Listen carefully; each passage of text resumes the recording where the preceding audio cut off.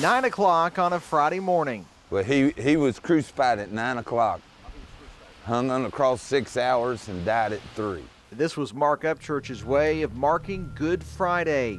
You know, I just wanted to come out and bring attention to this is the day that uh, Jesus died for us. This retired educator and coach is wanting to teach a new kind of lesson. You know, Christ did die for us. He died for, he went, he, they nailed him to this cross without a sin. But once they drove those spikes into him, he was full of ours. He says it's a story that's 2,000 years old, yet for him, it never gets old. Anyway, it had to be done. It was good that it happened so we can live again. A day on the calendar with an adjective of good. Just thinking right there, I'd be like, you know, what, what had the, what would be going through his mind, and uh, you know, and the beating that he had taken, and